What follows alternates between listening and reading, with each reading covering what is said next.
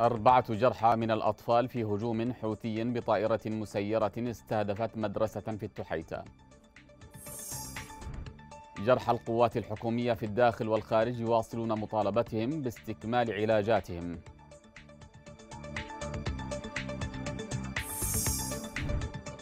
جلسة استثنائية لمجلس حقوق الإنسان بشأن انتهاكات الاحتلال الإسرائيلي بحق الفلسطينيين.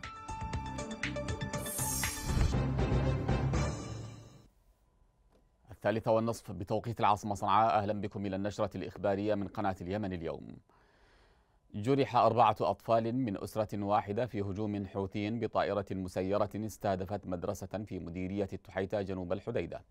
وقالت مصادر محلية وطبية إن ميليشيا الحوثي استهدفت أطفالا كانوا يلعبون قرب مدرسة الخنساء في التحيتة بقذائف أطلقتها من طائرة مسيرة ما أدى إلى إصابة أربعة أطفال بجروح متفرقة من أجسادهم.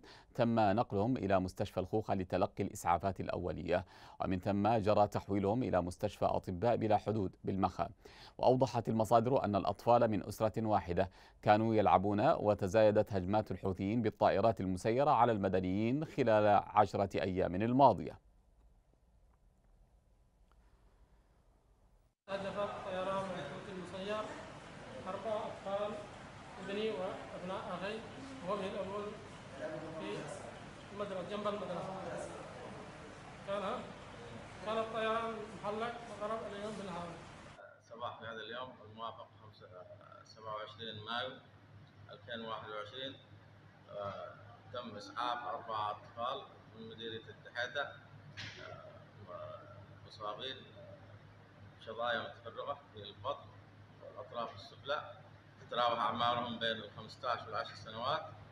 كانت إصابتهم الحمد لله استغرت دقيقة باستثناء عادهم كانت عنده شظية في البطن وعمل وعملنا لهم الإسعافات الأولية وتم تحويلهم إلى مستشفى أطباء بلا حدود لاستكمال العلاج. إلى ذلك أسقطت القوات المشتركة طائرة حوثية مسيرة هجومية في سماء مديرية الدريهمي جنوب الحديدة بعد أيام من ارتكاب الميليشيا جريمة بقصف من طائرة مماثلة استهدفت مطعما في سوق شعبي بذات المنطقة. الإعلام العسكري أكد أن طائرة حوثية مسيرة تحمل قذيفة عيار 60 تم إسقاطها بالسلاح المناسب أثناء محاولتها التحليق فوق مناطق آهلة بالسكان جنوب غرب مركز مديرية الدريهمي. يأتي ذلك تزامنا مع الكشف عن إحباط مخطط الهجوم البحري والبري للميليشيا الحوثية الذي كان يستهدف حي منظر. وباتجاه الحديدة تحاول الميليشيا توجيه بوصلتها بعد الانتكاسات المتواصلة في حدود مدينة مارب التي أصبحت عصية على أي اختراق حوثي. وقد ابتلعت قوة بشرية مهولة من مجنديها وأصابت تحركاتها بالعجز التام. منظر أحد أحياء مدينة الحديدة الجنوبية والذي يعد بوابة مطار الحديدة والمنصة والسيطرة النارية على أطراف الأحياء السكنية التي ما يزال الحوثي إلى اللحظة يتمترس فيها.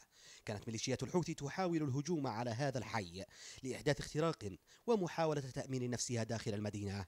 فالحديدة ما تزال لدى أجندات إيران ذات أهمية بالغة مهما انشغلت ميليشيات الحوثي ذراعها في اليمن بمعارك مأرب والجوف. والجميع يعلم مدى اتخاذ الحديدة كريئة ومتنفس وحيد للميليشيات على البحر. الإعلام العسكري وفي خطوة استباقية أعلن عن إحباط هجوم بري وبحري. هدف الحوثي به إلى تحقيق اختراق صوب مدينة الحديدة لعزل المناطق المحررة جنوب المدينة. وقد استخدم الإعلام العسكري لكلمة هجوم وشيك ففيه من الدلالة أن الخطر ما يزال قائما وأن إيران بذراعها في الحديدة تحاول إلى اللحظة تكرار سيناريو الهجوم على الدريهمي وتجريف اتفاق ستوكهولم. دخلنا في قارب السيط يعني مسافة لما إحنا يعني في في حدود القوات الحوثيين. وتم يعني قالوا اسبح من هنا بحث ثلاث ساعات. الإعلام العسكري وزع صورا لاعتراف عنصر الاستطلاع الذي كشف عن تفاصيل خطة الهجوم الحوثي الذي تم التحضير له عبر محورين بري وبحري. وقد حاولت الميليشيات استغلال فسحة العيد ظنا منها أن الوقت الميت سيخدم محاولة تحقيقها لمكاسب ميدانية على الأرض. قفزت من فوق القارب سبحت إلى الشاطئ كان قبل المغرب. وتم الاتفاق إذا وصلت هناك أستطلع المنطقة. إذا ما حصلت أي قوات ولا أي شيء أشر لي في القارب بالليزر اللي يعطوني إياه. وبعدين هو يبلغ القوات اللي كان قديم مجهزه لتنفيذ الهجوم. إن الله لا يصلح عمل المفسدين. تحركات ميليشيات الحوثي مرصودة القوات المشتركة بمختلف تشكيلاتها على أهبة الاستعداد فالحرب في الحديدة لم تقف البتة فالسكون الكسيح قد أسس عقدا للصراع تحت الرماد تعيشه الحديدة في حال من اللا سلم ولا حرب وفي أحد أشكال هذا العبث التي ما تزال ناره مشتعلة هذه طائرة حوثية مسيرة هجومية تم إسقاطها في سماء الدريهم. تأتي بعد أيام من ارتكاب ميليشيات الحوثي جريمة بقصف من طائرة مماثلة استهدف مطعما. في سوق شعبي بذات المنطقة. إلى ذلك أكد وزير الخارجية الروسية سيرجي لافاروف أن روسيا تعمل مع جميع أطراف النزاع والأمم المتحدة لحل النزاع في اليمن. وأعرب في مؤتمر صحفي عقب لقائه وزير الخارجية أحمد بن مبارك عن شعوره بالقلق إزاء الوضع في اليمن الذي مزقته الحرب مشيرا إلى الدور المركزي للأمم المتحدة للحل. وأضاف وزير الخارجية الروسية أن الأزمة اليمنية الداخلية أدت إلى تجميد فعلي لجميع مناحي الحياة الاقتصادية والتجارية والإنسانية والتعليمية بين البلدين. من جانبها اتهمت منظمة العفو الدولية ميليشيا الحوثي بتعذيب السجناء المعتقلين تعسفيا ونفيهم قسريا وأشارت في تقرير لها بعنوان أطلق سراحهم وتعرضوا للنفي أن التعذيب والمحاكمات الجائرة والنفي القسري لليمنيين كشف أن بعض الصحفيين والمعارضين السياسيين وأتباع الأقلية الدينية الذين تم إطلاق سراحهم في إطار صفقات سياسية عام 2020 بعد اعتقالهم بصورة غير قانونية تم تعذيبهم لمدد وصلت إلى سبعة أعوام. وأشار تقرير المنظمة إلى أن المعتقلين السابقين الاثني عشر أكدوا في مقابلات معهم أنهم تعرضوا للتعذيب أو غيره من ضروب المعاملة السيئة خلال الاستجواب والاعتقال. وقال إن الكثير من المعتقلين لا يزالون يعانون إصابات بدنية ومشكلات صحية مزمنة نتيجة الانتهاكات هذه.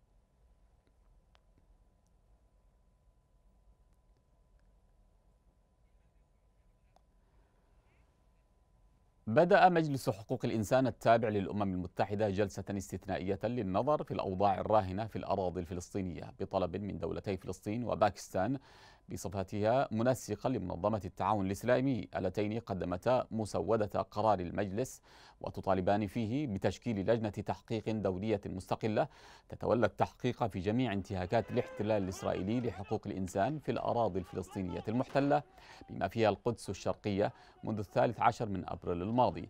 وفي سياق متصل. قالت منظمة العفو الدولية إن جلسة مجلس حقوق الإنسان التابعة للأمم المتحدة يمكن أن تساعد في ضمان إجراء مساءلة الاحتلال عن انتهاكاته بحق الفلسطينيين حتى في حالة وقف إطلاق النار مع قطاع غزة مشيرة إلى أنه يجب على الجلسة الاستثنائية لمجلس حقوق الإنسان أن تتناول جرائم الحرب المحتملة في غزة.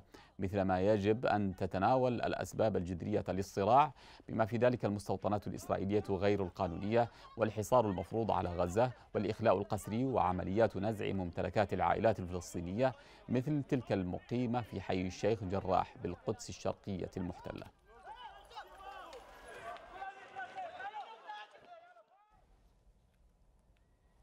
إلى ذلك أكد وزير الخارجية الأمريكي أنتوني بلينكن أن مصر والولايات المتحدة تعملان معا من أجل السماح للفلسطينيين والإسرائيليين بالعيش في سلام وأمن. وجاءت تصريحات بلينكن على هامش زيارته إلى العاصمة المصرية القاهرة في إطار جولة في المنطقة تستهدف تثبيت وقف إطلاق النار بين غزة وقوات الاحتلال الإسرائيلية. وأضاف بلينكن في حديث بمقر السفارة الأمريكية في القاهرة إن مصر شريك حقيقي وفعال في التعامل مع جولة العنف الأخيرة بين إسرائيل والفلسطينيين وفق رويترز. وقال وخلال محادثاته في القاهرة يلتقي وزير الخارجية الأمريكية بالرئيس المصري عبد الفتاح السيسي وكبار مساعديه وتناقش زيارة بلينكن إلى القاهرة عددا من الملفات العاجلة على رأسها تثبيت التهدئة التي نجحت القاهرة في تنفيذها بين قوات الاحتلال وقطاع غزة بدعم أمريكي. إلى جانب دفع الجهود لإعادة إعمار قطاع غزة وتوفير الاحتياجات الأساسية لسكانه والمضي في تنشيط عملية السلام لمنع تفاقم الأوضاع.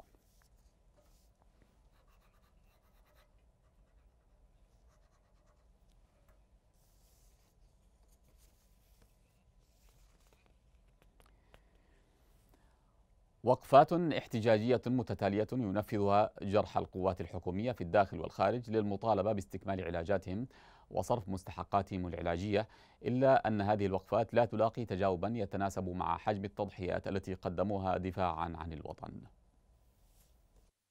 يعاني آلاف اليمنيين من جروح بليغة وإعاقات دائمة بسبب الحرب.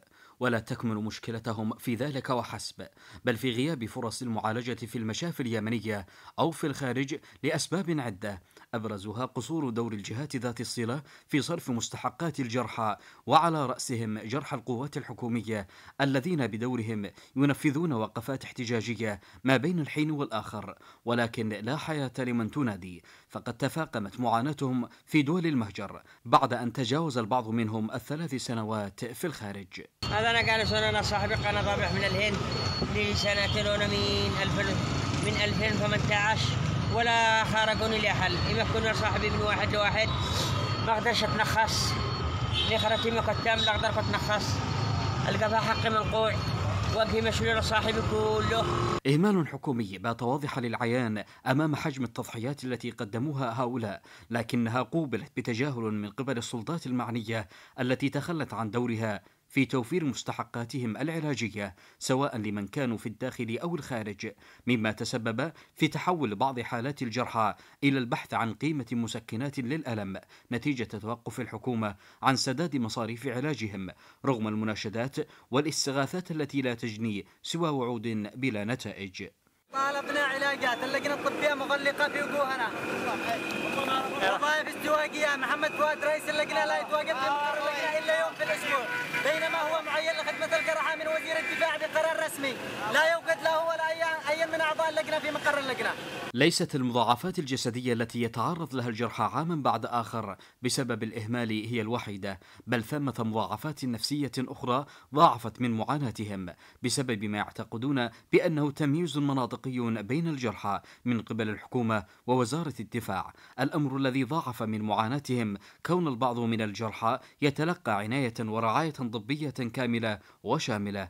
فيما يفتقر البعض لأدنى الاحتياجات الضرورية ويواصل الجرحى تحركاتهم الاحتجاجية للمطالبة بحقوقهم دون كلل على أمل أن تلقى احتياجاتهم تجاوبا من الحكومة يتناسب مع تضحياتهم التي قدموها في معركة التحرير واستعادة الجمهورية ويأملون أن لا يتركوا على قارعة الأوجاع مهملين بلا علاج تنهش أجسادهم المعاناة ويؤرقهم الاحتياج والخذلان. للمزيد ينضم إلينا عبر الهاتف الجريح أحمد السبئي من جنود اللواء الخامس والثلاثين مدرع مرحبا بك. أهلا وسهلا مرحبا بقناه الشباب. السلام عليكم ورحمة الله وبركاته. عليكم السلام ورحمة الله وبركاته. جريح حدثنا حدثنا عن إصابتك ومما تشكو.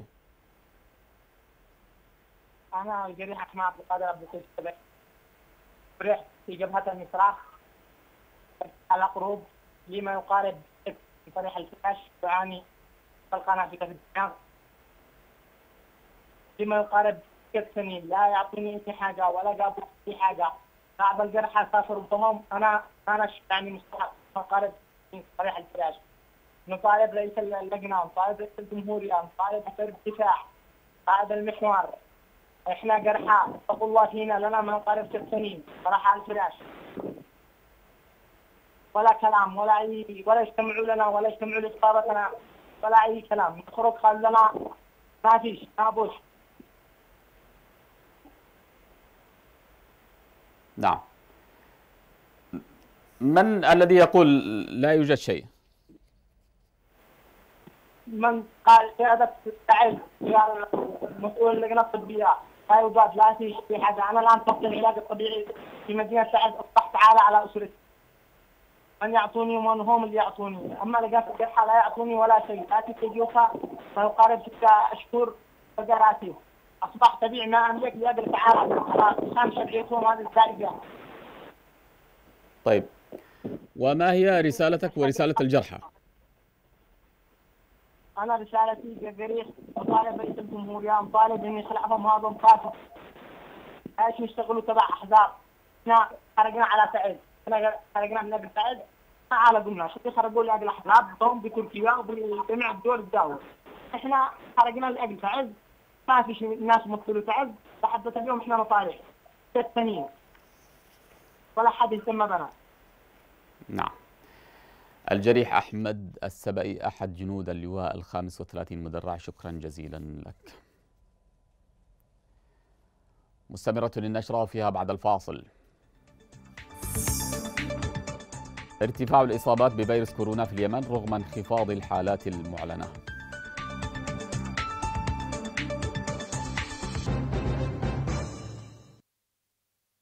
عودة الحكومة اليمنية الجديدة إلى عدم هناك المعارك تدور بين ميليشيات الحوثي والقوات الحكومية. فيا حرب كوني سلاما على هؤلاء وقد تقطعت بهم سبل الحياة. هكذا هي أعمال الميليشيات الإجرامية الكهروتية الإرهابية. تدمير منازل المواطنين على مدار الساعة. في كل مدرسة وموقع. سيتم قطع طريق الإمدادات آه، عن الميليشيات الحوثية. منع تهامة تنديدا بالمجازر الحوثية التي ترتكب ضد المدنيين كل يوم. محاولة يائسة للتقدم إلى مدينة حيث لكن القوات المشتركة تصدوا لهم. محمد الشعيبي لقناة اليمن اليوم الضالع الوهاب نمران من خطوط التماس بمدينة الحديدة. فؤاد المجيدي لقناة اليمن اليوم. عبد العالم دحلان لقناة اليمن اليوم. محافظة مأرب. ديرية الخوخة شرف الشمري. من جبهة حيس حسام بكري. عواد الوهباني اليمن اليوم. تعز. دليل يوسف اليمن اليوم. مطار عدن الدولي. عبد الهادي فرحات قناة اليمن اليوم. غزة. أعلنت اللجنة الوطنية العليا لمواجهة وباء كورونا تسجيل 18 حالة إصابة جديدة بالفيروس وحالتي وفاة. وأوضحت في حسابها على تويتر أن تسع حالات إصابة سجلت في تعز وأربع في البيضاء وثلاث في مارب وحالة في الضالع وأخرى في المهرة. وأضافت أنه تم تسجيل حالتي وفاة الأولى في حضرموت والثانية في مارب فيما تم تسجيل 33 حالة شفاء في كل من حضرموت وتعز. وبذلك يرتفع إجمالي الحالات المؤكدة إلى 6688 منها 1313 حالة وفاة و3306 حالات شفاء. ارتفاع كبير في أعداد الإصابات بفيروس كورونا في اليمن رغم استحداث مراكز تلقيح في المناطق التي تسيطر عليها الحكومة والتي بلغت 24 مركزاً. في الوقت التي تتواصل فيها السلطات الصحية في الحكومة اليمنية استحداث مراكز تلقيح ضد فيروس كورونا في مختلف المحافظات اليمنية الواقعة تحت سلطتها. فيما بلغ عدد مراكز التلقيح 124 مركزا معتمدا في محافظات عدن وتعز وحضرموت وشبوة وأبين ولحج والبيضاء وسقطرى والضالع ومارب. إلا أن ارتفاع الإصابات المؤكدة بفيروس كورونا المستجد بلغ 6688 حالة بعد تسجيل 18 إصابات جديدة في خمس محافظات خاضعة للحكومة الشرعية تصدرتها تعز بنصف العدد. اللجنة الوطنية العليا لمواجهة وباء كورونا قالت في بيان لها إنها سجلت حالتي وفاة بالفيروس وثلاثة وثلاثين حالة تعاف خلال 24 الساعة الماضية وأضافت اللجنة أن إجمالي الوفيات بالفيروس التاجي ارتفع إلى 1313 حالة وفاة في مقابل 3306 حالات شفاء.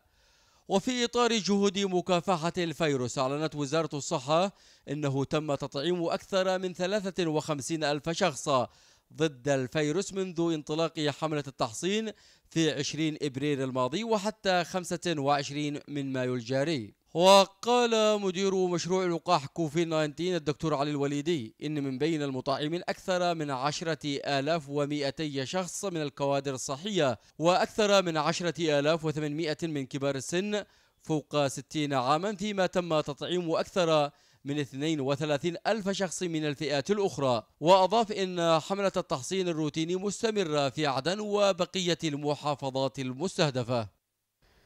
للمزيد ينضم إلينا عبر الهاتف الناطق باسم لجنة الطوارئ بمحافظة تعز الدكتور أحمد منصور. دكتور مرحبا بك. أهلا وسهلا أخي أطلعنا دكتور على الوضع الوبائي في تعز.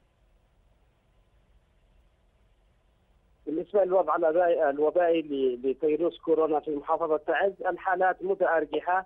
أحيانا تزداد آه، في المحافظة بشكل مفاجئ. عندما يكون عندنا حملات لأخذ عينات عشوائية من أوساط المجتمع أو من الحالات المبلغ عنها. وإذا حصل أي تقصير في أخذ العينات آه، أو آه، تستر كثير من الناس عن الحالات المصابة في منازلهم يكون العدد المبلغ عنه قليل. بينما الواقع الذي يكشف حجم الوباء في المحافظة سواء كانت في المدينة أو في الريف آه، الأعداد متزايدة وما زال الوباء ساريا في المجتمع. في ظل كل ذلك كيف تواجهون الأعداد المتزايدة؟ آه، نحن الآن كشفنا عملية آه، فتح المراكز لإجراء عملية التطعيم في جميع مراكز المحافظة والتي تبلغ أكثر من 26 مركز في كل المديريات المتواجدة في الأرياف في وسط المدينة في كل مكان هذه الحملة هي آه، التي آه، ستحقق نجاح كبير بانخفاض آه، الحالات المصابة بكوفيد 19 أو منعا لأي انتشار لوباء خلال فترة التحصين. آلية توزيع اللقاحات كيف تتم؟ نعم توزيع اللقاحات اللقاحات متواجدة في محافظة تعز منذ بداية شهر رمضان بأكثر من 7000 من 70000 جرعة متواجدة في في المحافظة وبدأت المرحلة الأولى في المحافظة والآن نقوم بعمل المرحلة الثانية وهناك أعداد كبيرة ومتزايدة من الناس المقبلين على مراكز التطعيم في المحافظة وتقريبا بلغ آه، عدد الوافدين إلى هذه المراكز أكثر من 10000 آه، إنسان وتم تطعيمهم خلال الفترة السابقة. دكتور أحمد منصور الناطق الرسمي باسم لجنة الطوارئ محافظة تعز شكرا جزيلا لك. عالميا تخطى عدد المصابين بالفيروس التاجي حاجز 169 مليونا في وقت يشهد العالم موجة جديدة من الوباء أدت إلى عودة عدد من الدول إلى تجديد الإجراءات وذكرت آخر الإحصائيات أن عدد المصابين بكوفيد 19 وصل إلى 169 مليونا و156 ألفا فيما تجاوزت الوفيات 3 ملايين و514 ألفا ووصل عدد من تم شفائهم من المرض إلى أكثر من 150 مليونا و810 آلاف شخص. وفي ظل تفشي الوباء وتزايد متحوراته المخيفة منح الرئيس الأمريكي جو بايدن مهلة للمخابرات لتحديد أصل نشأة فيروس كورونا التاجي أو ما يعرف علميا بكوفيد 19 وإيجازه في تقرير مفصل خلال 90 يوما. بعد أن تحور فيروس كورونا المستجد بشكل خطير ليتحول إلى الشكل الذي يضرب أوروبا ويهدد الولايات المتحدة ومعظم دول العالم تصاعدت التحذيرات وعادت المخاوف إلى الواجهة من إمكانية إصابة عدد أكبر من البشر. وقدرة هذا الفيروس التاجي في توسع دائرة انتشاره بشكل ملحوظ في وقت زمني قصير. الرئيس الأمريكي جو بايدن طلب من الأجهزة الاستخبارية في الولايات المتحدة تقريرا حول منشأ كورونا خلال 90 يوم، وكان البيت الأبيض قد أعلن الاثنين الماضي أنه لا يمكن للمسؤولين التوصل إلى نتيجة حول منشأ فيروس كورونا من دون تحقيق مستقل وتوفر المزيد من البيانات من الصين وخصوصا من مدينة ووهان التي ظهر فيها الوباء لأول مرة. السكرتيرة الصحفية للبيت الأبيض أكدت عن تقرار مطالبتها لمنظمة الصحة العالمية بدعم تقييم يجريه خبراء بشأن أصل الجائحة ويكون خاليا من التدخل والتسييس. كما أصرت على أن المسؤولين لن يتسرعوا لاستنتاجات قبل عملية دولية فعلية لاستكمال المعلومات حول الوباء الذي اجتاح العالم. تقرير بحثي أصدرته منظمة الصحة العالمية في مارس. وجد أن فيروس كورونا المستجد انتقل على الأرجح من الحيوانات إلى البشر ووصفت نظرية تسربه من المختبر بأنها غير مرجحة للغاية. التقرير أشار إلى أن أكثر من 1750 عالما وخبيرا من 124 دولة أوصوا بأهمية مضاعفة الجهود لاكتشاف وفهم المتغيرات الناشئة عن الفيروس المتسبب بمرض كوفيد 19 وتأثيرها على التشخيص والعلاج واللقاحات في وقت مبكر والوصول إلى نتائج تكشف منشأ كورونا وتطوراته الأخيرة التي تهدد سكان المعمورة. وفي النشرة أيضا ميليشيا الحوثي تحرم الفقراء من زكاة النفس البالغة 11 مليار ريال.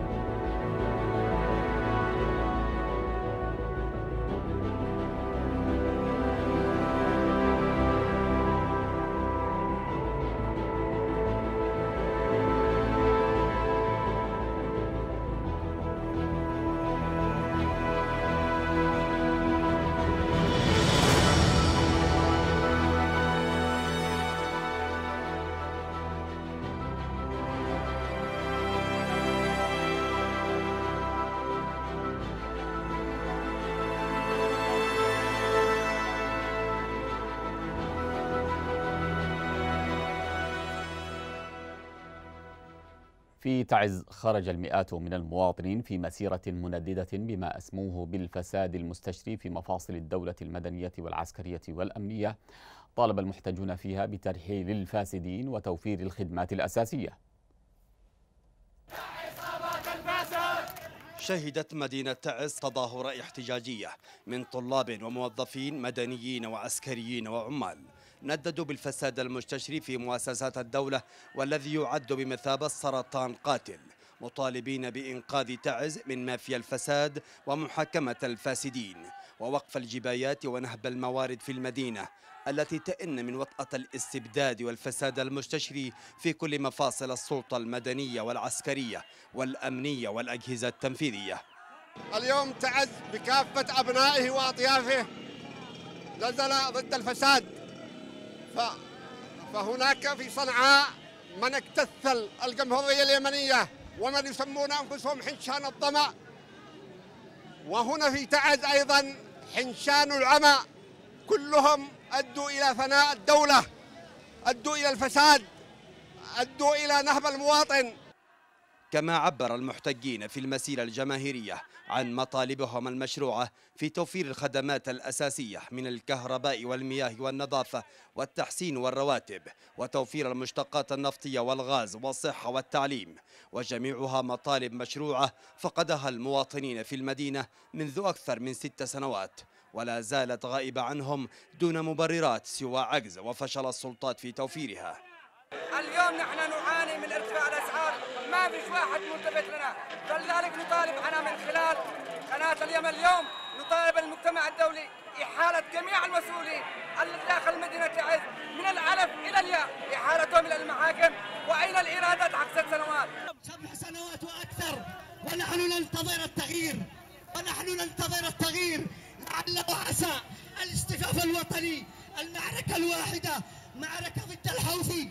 انتظرنا نهبونا سرقونا لطشونا رفع المتظاهرين في المسيرة التي انطلقت من جولة العواضي حتى مبنى السلطة المحلية اللافتات والهتافات المعبرة عن مطالبهم الهادفة إلى ترحيل الفاسدين من مؤسسات الدولة وتوفير الخدمات الأساسية في المدينة.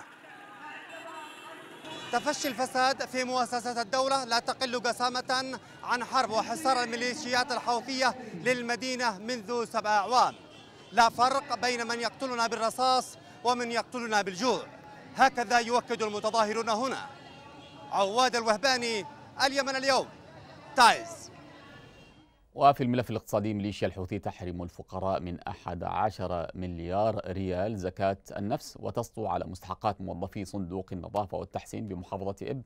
والوكالة الأمريكية للتنمية الدولية تؤكد أن اقتصاد السوق سيكون الدافع لإعادة بناء اليمن بشرط توقف الحرب.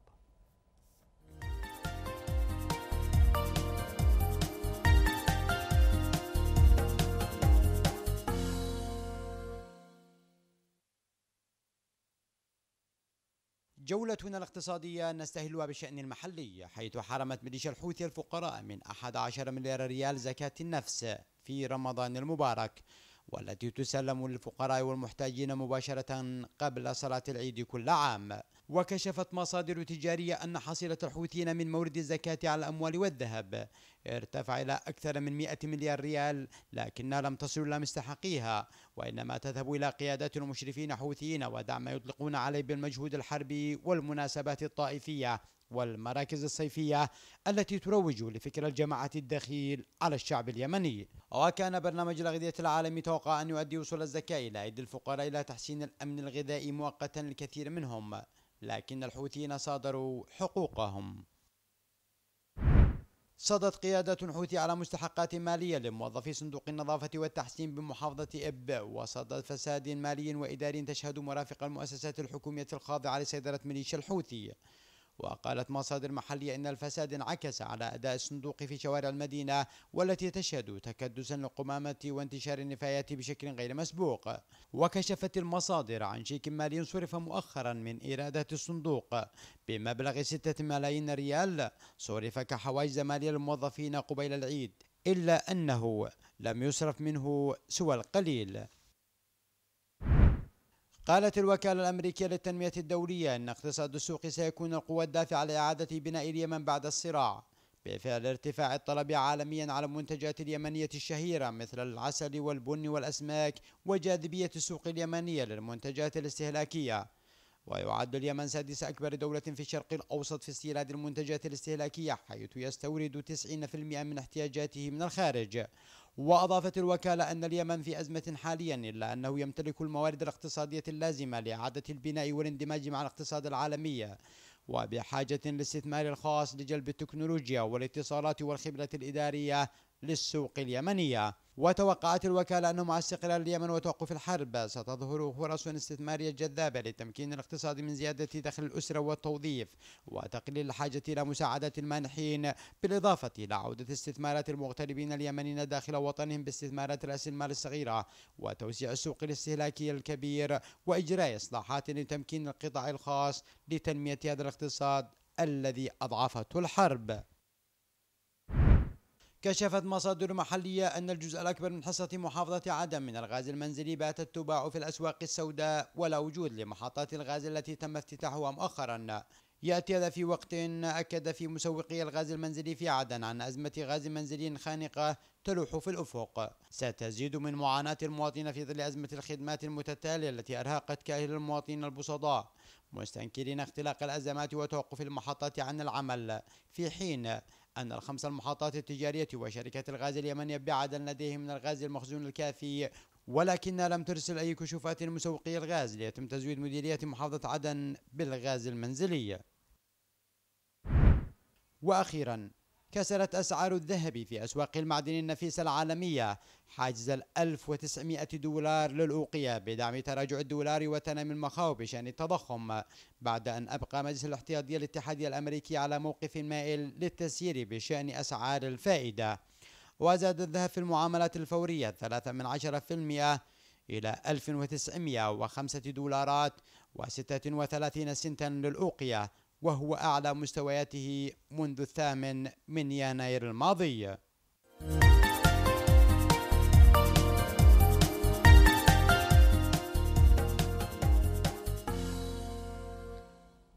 ضربت هزة أرضية مساء الأربعاء جزيرة سقطرى اليمنية وأبلغ سكان سقطرى عن شعورهم بهزة أرضية وتحديدا في منطقة نوجد على الشريط الساحلي الجنوبي للجزيرة. وكانت هزة زلزالية قد حدثت قبالة سواحل اليمن الشرقية مؤخرا حيث تشهد السواحل الجنوبية اليمنية هزات بشكل متواصل.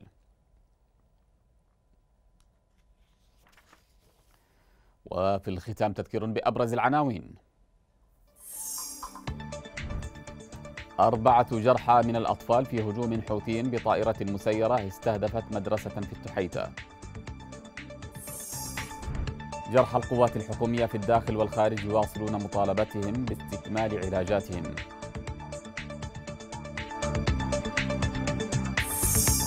جلسة استثنائية لمجلس حقوق الإنسان بشأن انتهاكات الاحتلال الإسرائيلي بحق الفلسطينيين.